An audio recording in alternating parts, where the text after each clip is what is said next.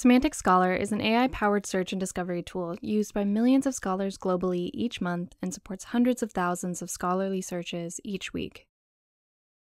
Our mission is to empower researchers to fight information overload. Searching on our platform enables scholars to navigate through hundreds of millions of papers in all scientific domains. So, how does it work?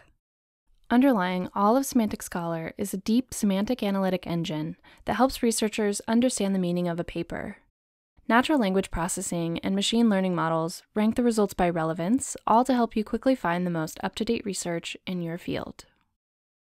To get started, visit semanticscholar.org and enter a search for a paper, author, topic, or keyword. You can further refine your search results using our many filter options.